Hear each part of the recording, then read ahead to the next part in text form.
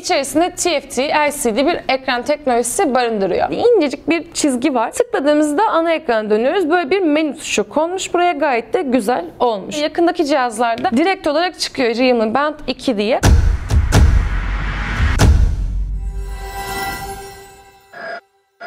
Morris'ten herkese yeniden merhabalar. Bir akıllı bileklik incelemesi daha sizlerleyiz. Bugün yanımda Realme Band 2 var. Kendisinin önceki modeli yani Realme Band modeli 2020'de çıkmıştı galiba ve o zaman 100 lira civarlarındaydı. 2021'de de böyle 100 lira civarlarında bir fiyata sahipti. Şu anda da baktım yani Türkiye'de satış yok. AliExpress'te falan var. 400 lira gibi bir şey olmuş. 2 senede fiyatı tabii çıkmış. Bugün de bu ikinci nesil, ikinci modeli diyebileceğimiz Realme Band 2 var. O zaman isterseniz hızlıca kutu açılımına başlayabiliriz. Öncelikle şöyle hızlıca bir kutunun dış yüzeyine bakalım. Kutuda mağaza tasarımına gidilmiş bir askılık yeri mevcut. Arkasında teknik detaylarına yer vermişler. İşte ayrıntılı şeyler yazmıyor. Bataryasından vesaire bahsedilmiş. Yan tarafına baktığımızda 12 günlük bataryası, 50 metrelik su geçirmezlik özelliği ve işte smart kontrol ile ilgili bilgiler var. Öbür tarafında ekranı, işte içinde bulunan monitörler ve spor modlarıyla ilgili bilgi verilmiş. Ön yüzüne baktığımızda bir QR kod görüyoruz. Himini QR kodu. Buradan da şunu anlıyoruz. Kendisi yani Realme Band 2 genel olarak nereden alırsanız alın Himi servisi garantisinde geliyor. Bu QR kodu gördüğünüz ürünlerin üstünde direkt olarak teknik servis garantisi var demek oluyor. Şöyle kutuyu hızlıca bir açalım. Çıkarttığımızda bileklik bu şekilde geliyor içerisinden. Tipi bu arada şeye çok benziyor. Mi Band 7 Pro'nun tasarımına ya da işte Huawei Band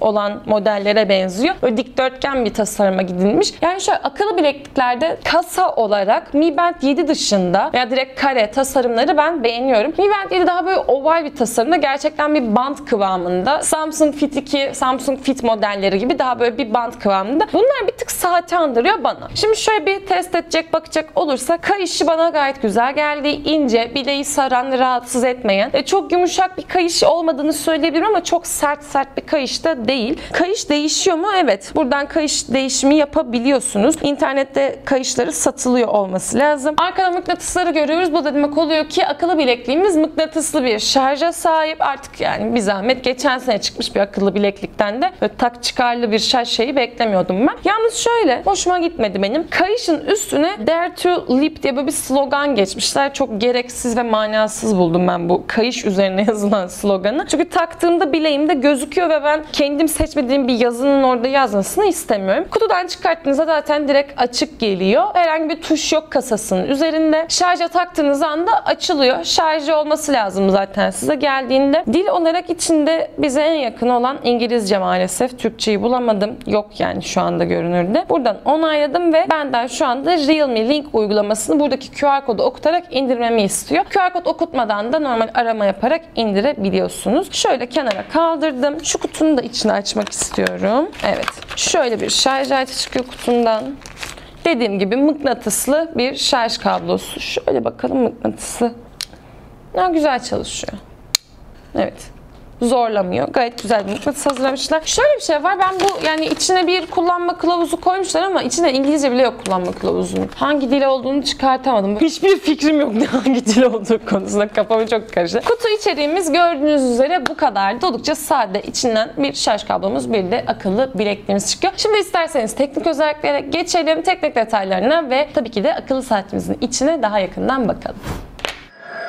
Şimdi ilk önce şöyle bir bileğime takmak istiyorum. Bir yandan da sizlere teknik özelliklerinden bahsetmeye başlayacağım. Öncelikle ekran boyutu 1.4 inç. Bu arada genel olarak hem Mi Band 6 ile aynı yılda çıktığı için hem de Xiaomi tabii ki band piyasasının, akıllı bileklik piyasasının hakim olduğu için genel itibariyle bu bileklikleri Mi Band'lerle kıyaslıyoruz. O yüzden şu ikisinin arasında ufak tefek karşılaştırmalar veya yorumlarda bulunacağım aklınızda olsun. Şimdi tekrar söylüyorum. Dediğim gibi ekranın ekranın boyutu 1.4 1.4 inç. Mi Band altındaki de 1.5 inç gibi bir şeydi. Yani çok da bir fark yok aslında ekran büyüklüğü açısından. Ama bu kasası değil dediğim gibi. içindeki ekranı. Çünkü şu an burada gördüğümüz üzere şunu söyleyebilirim. Ekranı yani kasa olarak büyük fakat çentikleri çok fazla. O yüzden ekran doğal olarak daha küçük oluyor. Mi Band 6 ile neredeyse aynı içinde görebildiğimiz ekran büyüklüğü. Ekran çözünürlüğüne gelecek olursak 167'ye 320 piksellik bir ekran çözünürlüğü var. Bana bu açıkçası zaten gözle de görülüyor. Oldukça oldukça düşük geldi. Yani geçen yıl çıkan bir akıllı bileklik için ben bu çözünürlük oranını çok düşük buldum. Ekran teknolojisine gelecek olursak içerisinde TFT LCD bir ekran teknolojisi barındırıyor. Normalde AMOLED ekranlarda alışkın olduğumuz 16 milyon renk işte daha parlak ekranlar vesaire TFT ekranlarda olmuyor. TFT ekranlar zaten 16 milyon rengi destekleyemiyor. 65 bin adet rengi destekleyebiliyor. Bluetooth teknolojisi kısmına gelecek olursak 5.1 bir Bluetooth kullanıyor. İçerisindeki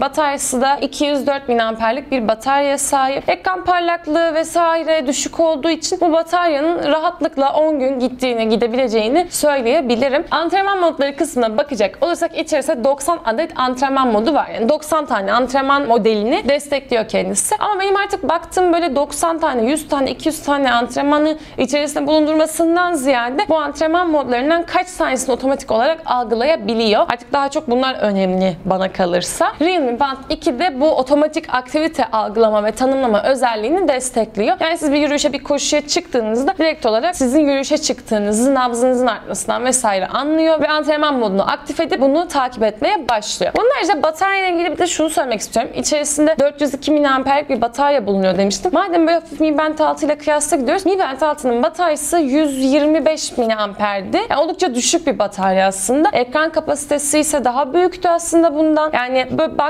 baktığımızda bataryası daha yüksek işte e, parlaklığı biraz daha az olduğu için şarj süresi daha uzun gidecektir Mi Band 6'ya göre diye düşünüyorum. Şimdi isterseniz bir de uygulamaya bağlayalım cihazımızı. Şimdi ilk önce uygulamaya giriş yaptık. Ben uygulamayı daha önce indirmiştim. Realme Link uygulaması. Giriş yaptım. Bir profilde oluşturdum. Hemen yukarıda sağ üstte artıya tıklıyorum ve yakındaki cihazlarda direkt olarak çıkıyor Realme Band 2 diye. Bilekliğime dönüyorum. Şöyle. QR kodu okutmamı söyle. Buradan Realme Band 2'nin üzerine tıklıyorum ve bağlantı bekliyorum. Bana bir ping gönderdi. Onayladım. Buradan da eşleştir dedim. Evet akıllı bilekliğim şu anda açıldı. Cihazı da buradan eşleştirdim ve başlayın diyorum. Şuradan şeyleri onaylayalım. İzin açık değil. Hayır. Uygulama bildirimlerini gelsin istemiyorum telefonuma. Teşekkürler. Bunlara izin veriyorum. Şu anda gördüğünüz üzere şarjı %88 şarjını görebiliyorum buradan. Şöyle bir görünüm galerisine girip saatin kadranlarına göz gezdirelim isterseniz hızlıca. Elimizde oldukça fazla saat kadranı var. Ama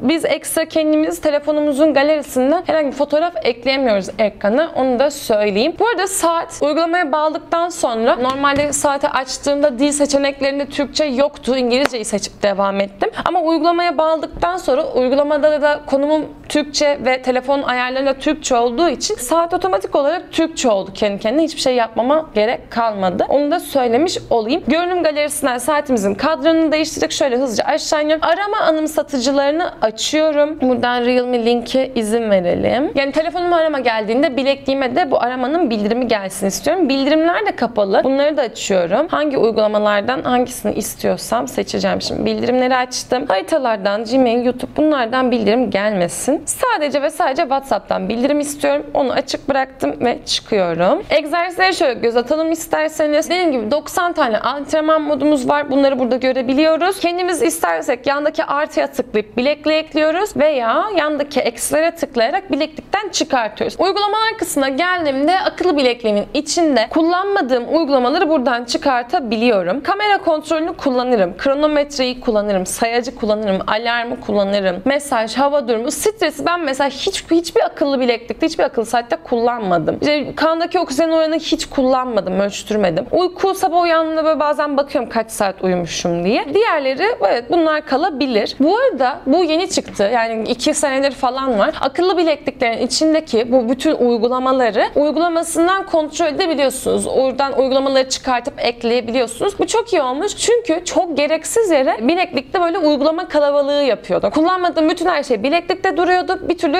oradan çıkartamıyordum. Bu güzel bir gelişme oldu. Alarmlarımı yine buradan kurabiliyorum. Etkinlik anımsatıcıları var. Diğer işlevler kısmında telefonumu bul, bilekliğimi bul. Kamera kontrolünü buradan aktif etmeniz gerekiyor. Deklanşörün kontrolünün gelebilmesi için. Evet aktif ettik. Biraz sonra deneriz. Müzik çalma kontrolünü de açıyorum. Hava durumu için konum bilgisini otomatik olarak çekiyor. Telefonunuzun konumunun açık olması lazım. Evet uygulama bu şekilde ayarları böyle yapıyoruz. Evet dediğim gibi uygulama bu kadardı. Uygulama ile ilgili söyleyeceklerim bunlar da. Siz de fark ettiniz mi bilmiyorum ama benim açıkçası favorim bu akıllı bileklik, akıllı saatlerdeki böyle uygulamalardaki favorim Xiaomi'nin uygulamaları. Yani Mi Fitness, Xiaomi Wear hangi ismiyle şu anda biliyorsunuz, hangi ismiyle kullanıyorsunuz bilmiyorum. Güncellendi çünkü adı. Favori uygulamam bu. Verileri daha çok ve daha ayrıntılı görebiliyoruz mesela Xiaomi'nin uygulamalarında. Ama diğer akıllı bileklik veya akıllı saatlerin uygulamaları henüz bu kadar gelişmiş değil. O yüzden Realme Band 2'nin de uygulamasını açıkçası çok beğenemedim. Ama iş görür bir uygulama yine de. Şimdi isterseniz daha yakından akıllı bilekliğimize birlikte bakalım.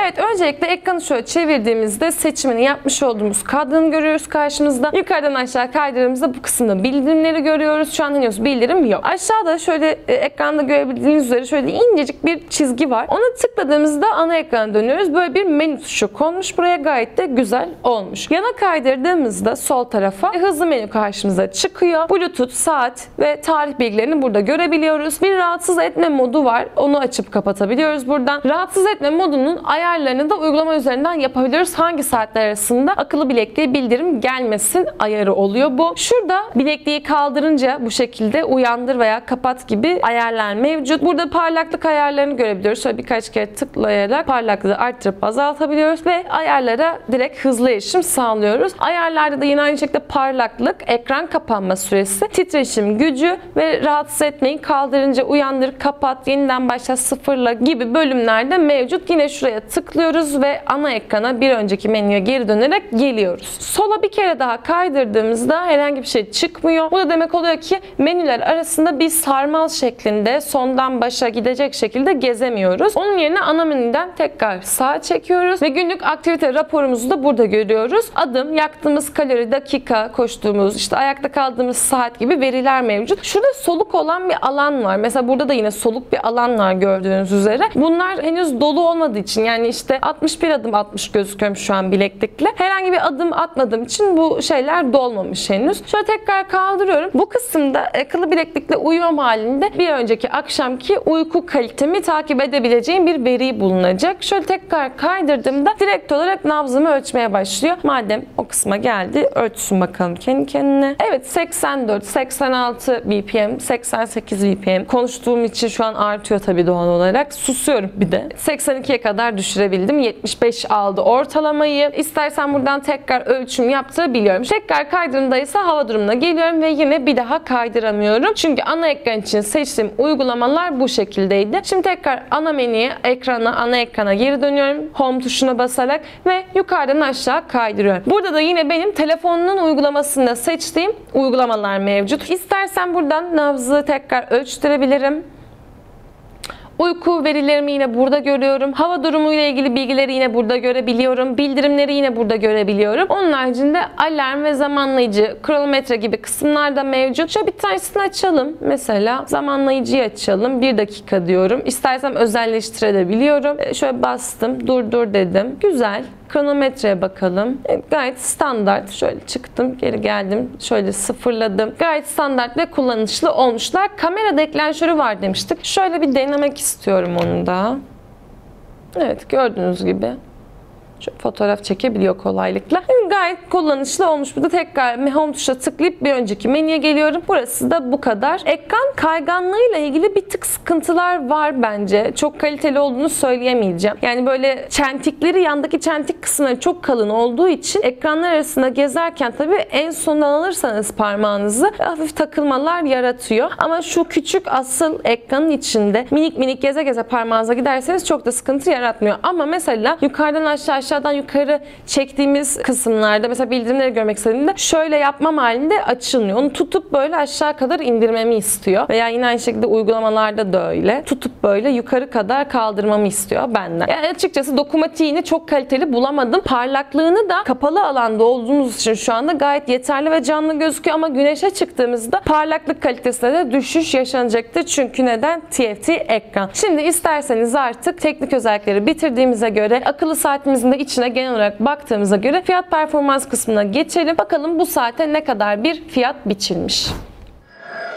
Evet hep birlikte akıllı bilekliği şöyle bir değerlendirecek olursak açıkçası benim ilk yorumum ekran kalitesi vesaire Mi Band serilerine göre bir tık geride kaldığını görüyorum. Yani Mi Band 6'dan bile bence bir tık geride kalmış. Parlaklık anlamında da AMOLED kullanılmadığı için akıllı bileklik veya saatlerde AMOLED kullanılmamasının mantığını ben anlayamıyorum. Yani bir 200 lira daha fazla olabilir belki ama neden AMOLED kullanılmıyor? Sonuçta bu bileklik 7/24 dışarıda işte saat takip edebilmemiz, bildirimlere bakıp okuyabilmemiz için üretilmiş bir şey olduğuna göre güneşli havalarda, dışarıda, aydınlıkta o benim o ekranı çok rahat görebilmem lazım ve TFT bunu sağlamıyor. Fiyatına gelmek istiyorum direkt olarak. Şöyle internete bir baktığımda açıkçası bütün pazar yerlerinde göremedim. Ben sadece Trendyol'da bulabildim. Orada da 999 lira bir satıcı satıyor. E, Geçen yıl çıkan bir akıllı bileklik için açıkçası bana bir tık pahalı geldi fiyatı. Ama yine de takdir. Sizin belki Oppo marka bir telefon kullanıyorsunuzdur ve belki aynı ekosistemin ürününü satın almak istiyorsunuzdur. Tabii ki sizin tercihiniz. Bugünlük bu kadardı. Aklınıza takılan merak ettiğiniz bir şey varsa ürünle ilgili yorumlarda sorabilirsiniz. Lütfen kanalımıza abone olmayı ve videomuzu beğenmeyi unutmayın. Hepinizi çok seviyoruz. Hoşçakalın.